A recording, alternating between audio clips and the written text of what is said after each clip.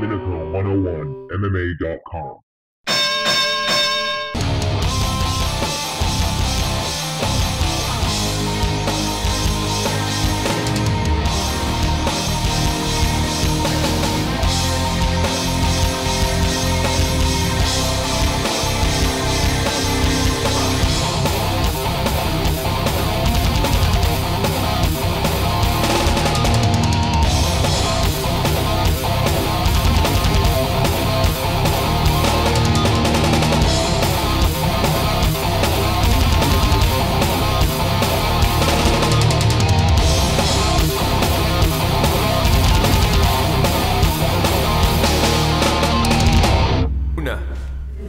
Steve Domenico with Bill Newcomb from Hard Knocks Gym, Muay Thai in Everett, Mass, north of Boston.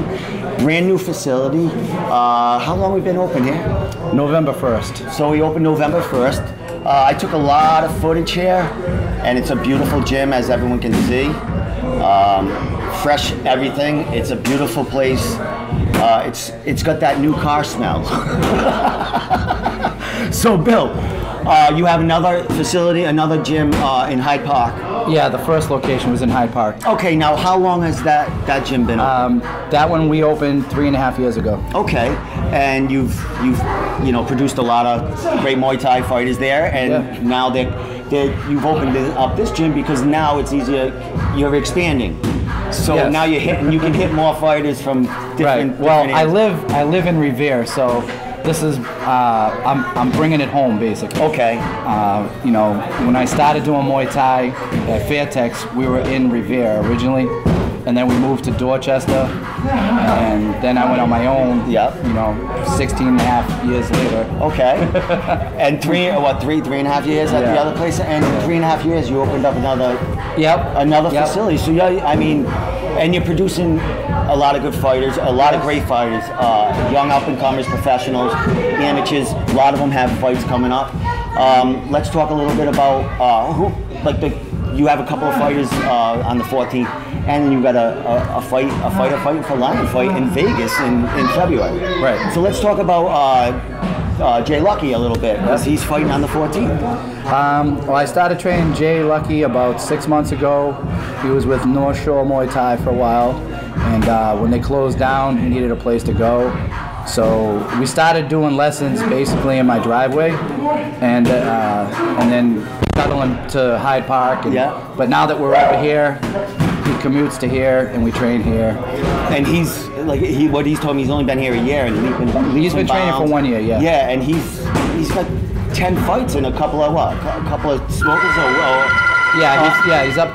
I think it's ten fights. Yeah, ten fights now. in a, in a year. And that, that that's the way Muay Thai is. This isn't MMA. You don't sit on the shelf for six months and wait. I try not to. I, tr- you, I you stay I- busy. Yeah, I try to put the guys out there as, as much as I can. Once once they're able to fight, once they start fighting.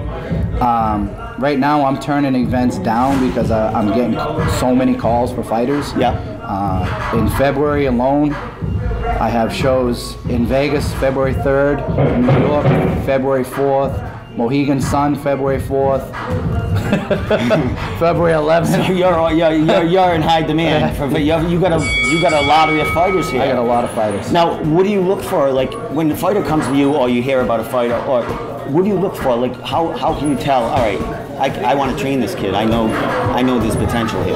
Well, I'd say 75% of the guys walk in the door and say they want to be a fighter. Mm-hmm. And out of the 75% that say it, you only get about 10% that actually become fighters. Okay. You know, legitimate fighters, Yes. anyways. Most guys, they're like one and done, want to try it, see how I did. And Experience. then, yeah, just go for the experience. Yeah. And then they, you know, the training itself, like for a fight camp, is is probably more intense than the actual fight itself.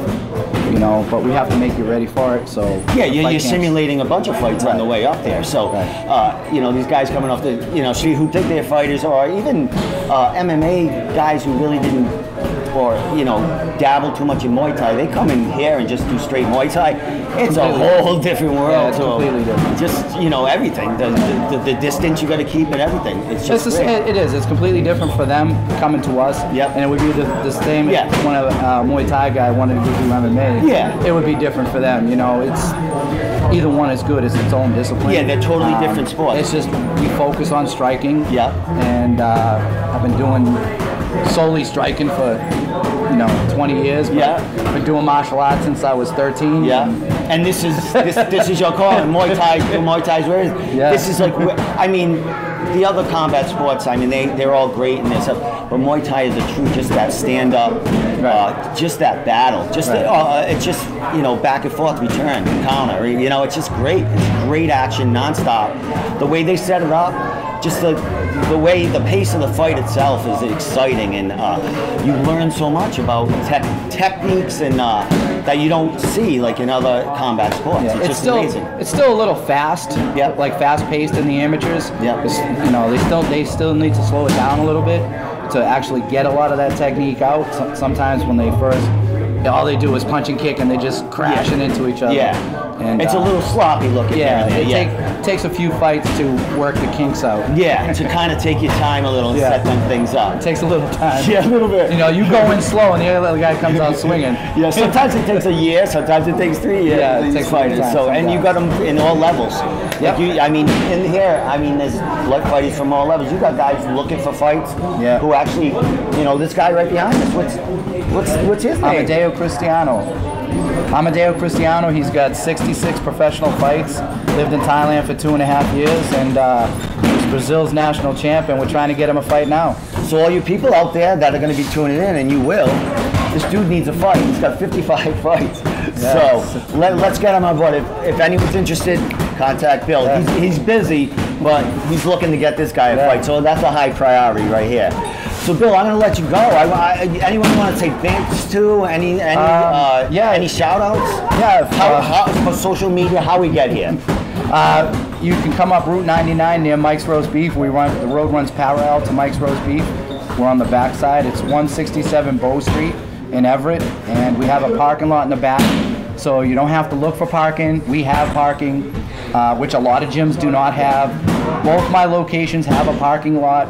I literally drove here, and it took me three minutes to park and actually get to the door. So It uh, takes, uh, I think, about eight minutes to get here from like uh, North Station area. Awesome. Yeah. All right. Now, social media, uh, how we get in touch, how, our Hard, website. yeah, hardknocks.com or hardknocksboston.com. Um, we have Facebook at Hard Knocks Boston.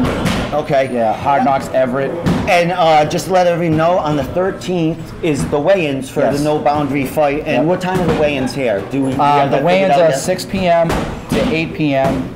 And uh, everybody is welcome to come and meet the fighters, check out the camp, um, take pictures of the fighters, and just get ready for the show on the 14th. All right. Well, from Hard Knocks Muay Thai in Everett, uh, right out north of Boston, Mass. Uh, Bill Newcomb, his new facility, which looks awesome, creating uh, beasts as we speak. Yeah. So we'll uh, we'll see you on the 14th and uh, and beyond because you're all over the place. I am. so for Domenico 101 MA, uh, we'll see you later. Take care.